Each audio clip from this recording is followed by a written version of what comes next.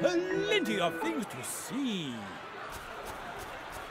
All right then. Run along, children. Have fun.